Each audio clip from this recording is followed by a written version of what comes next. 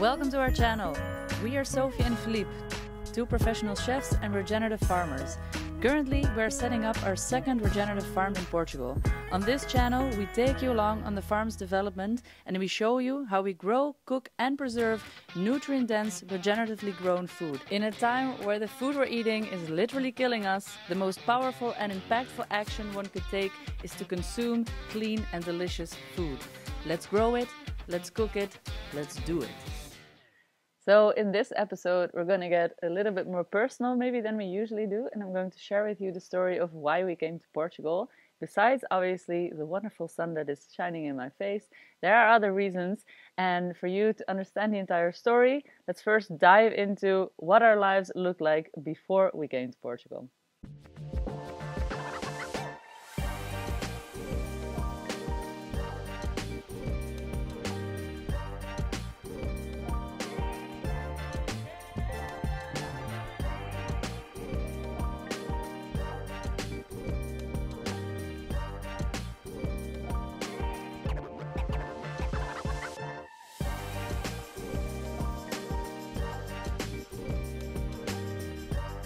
So before the farming chefs, we had a regenerative farm in Italy where we also had a farm-to-table restaurant and we served our own meat, eggs, veggies, herbs, and it was a wonderful place. Philippe and I became parents in Italy. We have two beautiful daughters and we just had a great run there producing amazing food. We had great family and friends living nearby. So all in all, not a shabby life. But then COVID hit and for us, that was a really rough time because we had our little circular economy in which we were basically producing everything that we were selling in our own place, in our own restaurant. That just meant a logistical nightmare because now we had to slaughter a lot of animals and we had to figure out what we're going to do with all of this production that normally we sold in our restaurant. Now, I think the lockdown and Corona was a terrible time for everyone, but if there was to be pointed out a silver lining, it was that we, for the first time in a long time, actually had way more time on our hands than we had ever had, which means that we could really reflect on where we were, what we wanted, and how we felt about everything. So that is what we did. We had many talks about what life meant, how fast it was all going, if there were any opportunities that were lying ahead that we should grab.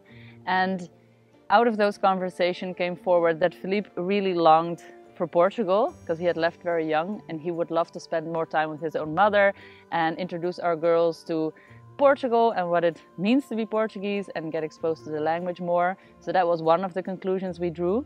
But we also were toying with this idea of a new adventure as a very good client of us who became a very close friend had actually made clear that he was willing to invest in us and that he believed in our potential and if we ever were to start a new project that he would happily back us. So with that in the back of our minds, we felt that there was an opportunity for growth and new adventure. And another thing that came into play really was the sense of ownership we were longing for and a place on earth to really call our own, as our then business was situated on rented land. So coming here then was solidified in the moment that Philippe's uncle called us and asked us if we wanted to buy the house of his grandmother, which they were going to put up for sale.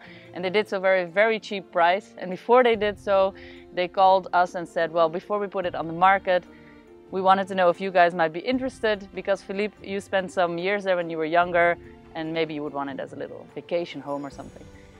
So when that phone call came to me and I think to Philippe as well, it sort of felt as, if you believe in those sort of things, a sign from the heavens. And that is when we made the decision that this was a great opportunity for growth. Let's start a second farm. Let's put everything we've learned in our first farm into practice, building up our ideal little paradise. A lot of people probably thought we were crazy. And truth be told, we probably are a little crazy. Um, and I think that has to do with the fact that Philippe and I both just strongly believe that life is short and it should be an adventure in which you try to, in Dutch, I would say, you ontplooit je talenten. You need to go after your talents and try to develop them as much as you can. We are very passionate about growing and about food, and we see real power and healing in this regenerative movement. So we decided why not start this second regenerative farm from scratch on a little place that we can call our own and also share this journey with a global community of you guys on YouTube. So thank you very much for all your support so far. And here we are, and we are loving, loving life. now we've got many more exciting plans for this place that I can't share with you guys yet, but let me tell you, I'm extremely excited about them. So there you have it. That's why we came to Portugal. Enough on that. Let's get into all the farm development of this week and let me show you what we've done.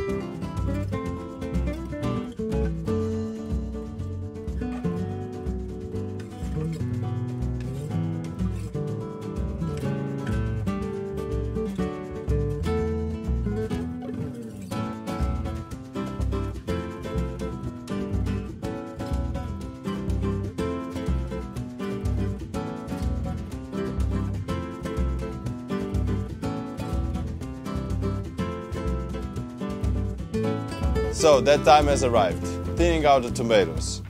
The difficult decision is which ones to take, which ones to leave. Well, I know I need seven of each plant of these tomatoes. I'm gonna do for 13, 14, 15, so you always have some extra, but I wanna leave a space that is enough for them to grow until we rip them out of the ground and transplant them into the big garden. Let's thin them out.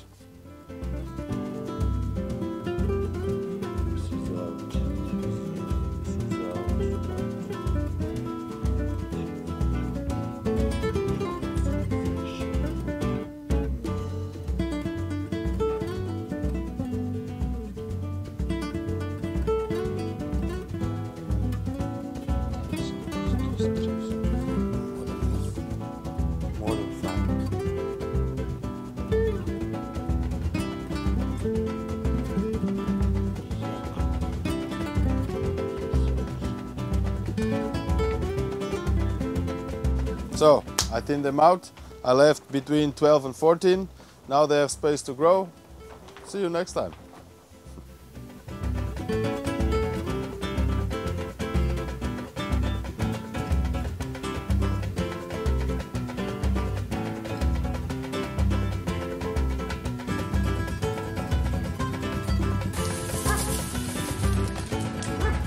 Good night, little planty plants.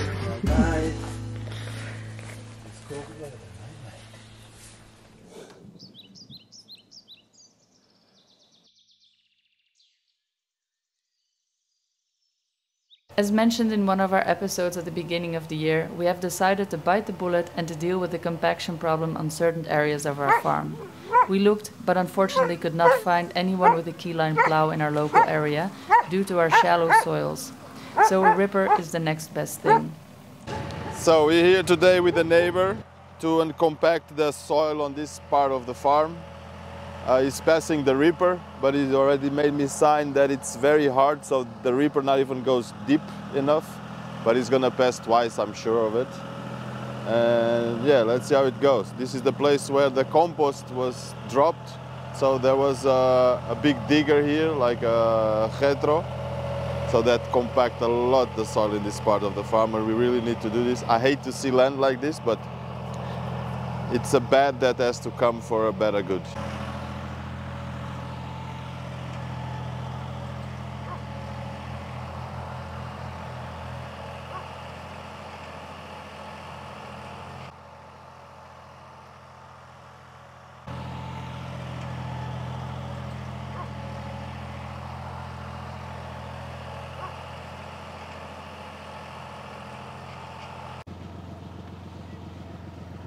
Going up. We're going to try to put a flat spot upstairs.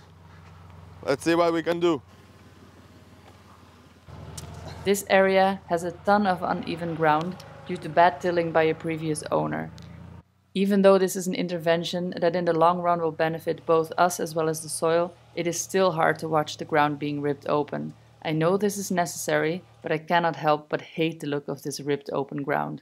A keyline plow would not have worked here though, as we are on top of the hill here and the ground is just too shallow.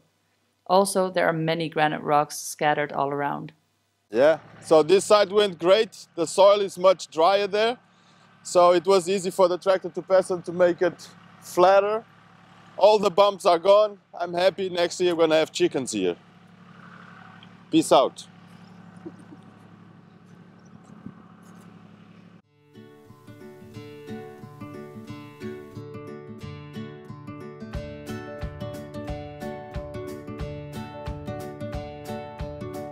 Somebody's burning something in the village. A few weeks ago, the vines were pruned and we decided to burn the cuttings and give back the ashes to the vines. For that, we had to light up the bunch.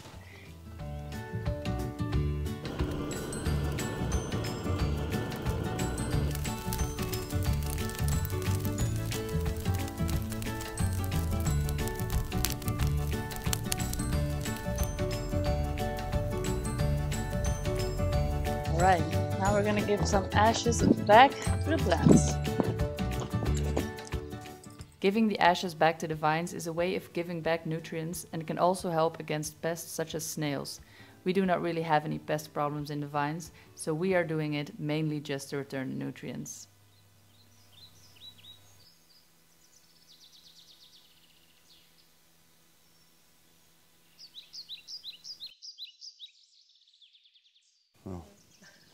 We're gonna do- we're gonna we're gonna do the we're gonna do the net for the piece today.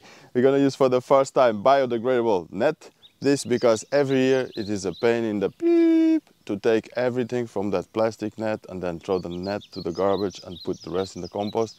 So it's hours cleaning that. We don't want to do that anymore. So we're gonna use this. It's a little bit more expensive, but it's better for the health of the planet.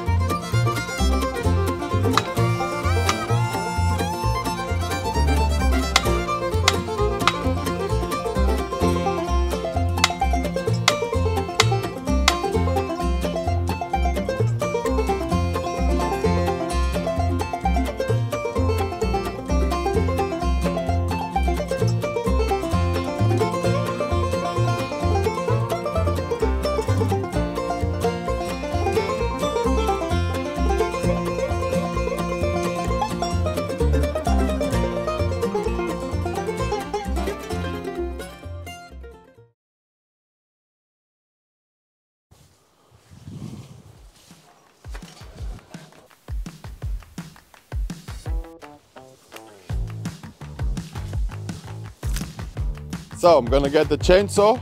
We're gonna cut the poles of the garden and of this inside fence all at the same height, so we have a beautiful view and Sophie gets relaxed. I need to make the mixture of this.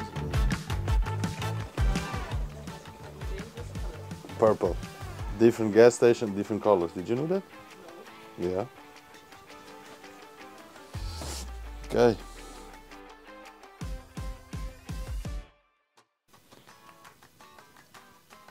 So a chainsaw takes gasoline.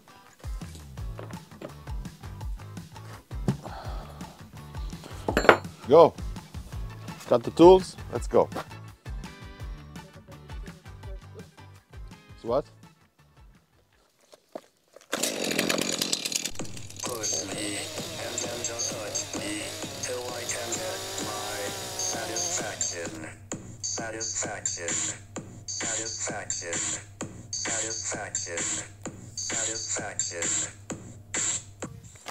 We're done here. Let's go to the other side. Satisfaction. Satisfaction. Satisfaction. Satisfaction. Party. Let's go! Push me and then just touch me till I can get my satisfaction. Satisfaction. Satisfaction. Satisfaction. Satisfaction. Push me and then just hurt me till I can get my satisfaction. Satisfaction. Satisfaction. Satisfaction. Satisfaction. Satisfaction. So we're done. We cut all the poles to the same height, 1 meter 34 to be exactly. There was a little problem there with the measuring of that one. We cut off, I cut off 2 centimeters more, but the rest is all the same. So Sophie will be happy, I'm happy, everybody's happy, Lottie's happy. So let's go.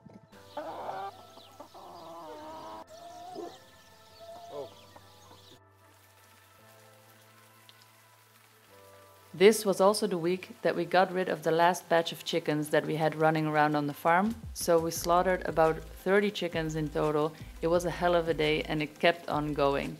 In the end, we decided to chop most of the carcasses up, and that means we have a freezer full of thighs, breast, chicken wings, and a lot of chicken stock.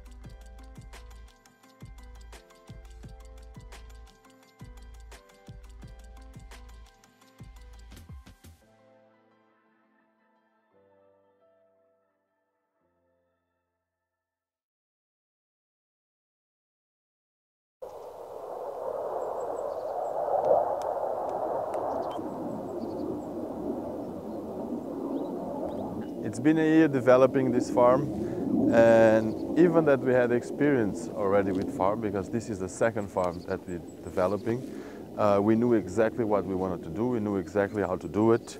The only thing was the new thing, the YouTube channel. So we had to document everything, and we did really, we did it quite poorly in the beginning because especially me mentality of is this to do? Let's do it immediately. Let's not do it today and not wait for tomorrow. So when you're documenting things it has to be planned in a different manner. And sometimes you see things that need to be done but you just have to prepare yourself before to document it and doing it at the same time. Uh, so that was a big problem for me my mentality i think uh, but yeah, we're here one year later and we cleaned the whole farm, we fenced the farm, uh, we plant all the trees, uh, we have the animals running, the chickens, the sheep, uh, yeah, we have the gardens built. So that, that was that mentality of let's do it uh, that brought us here. Um, for sure, it could be documented a little bit better in the beginning, but I'm working on it. So I'm here today in front of you telling what was the developments of last year. And yeah, I think that was it. Just getting used to a camera in front of your face all the time is not something so easy as it looks like. For maybe for me because I'm not a natural, so I leave it for you guys, the natural ones. Definitely one of the most used phrases in the first months were, Why did you do that? Well, now we don't have it on camera. But we need to do it! that was it for another episode, folks. We hope you enjoyed. See you on the next one. The Farming Chefs. Peace out.